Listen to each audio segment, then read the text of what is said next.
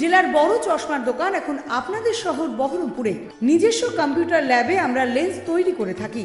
আমাদের ঠিকানা বহরমপুর সুশ্রুত আই হসপিটালের ঠিক পাশে, রাস্তার ডান দিকে। এভারেস্ট অপটিক্যালে আপনাদের জানায় সাদর আমন্ত্রণ। বৃষ্টির জলে নয়াঞ্জলি ভর্তি হয়ে জলমগ্ন গ্রাম।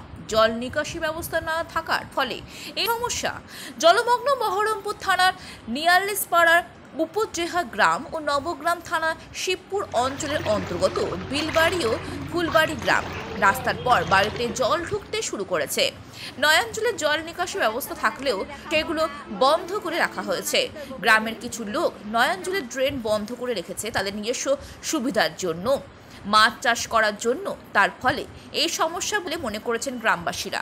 আমাদের উপর ঢের ভিতরে বাবুপাড়া গ্রামে এই যে যতগুলা সরকারি লাশা ছিল, সব সিমেন্ট বালির গাঁথনি করে, পুরো নেট সিমেন্ট করে বাঁধা আছে।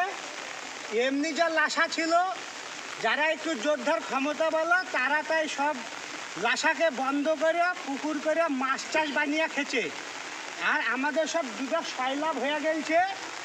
আমাদের দেশে খুব ভয়াবহ দুর্ভিক্ষ দেখা দিচ্ছে। রাস্তাঘাট তো নাই বাড়ি ঘরও ডুবে গেছে, পানি বেড়ার কোনো নিকাশ নাই।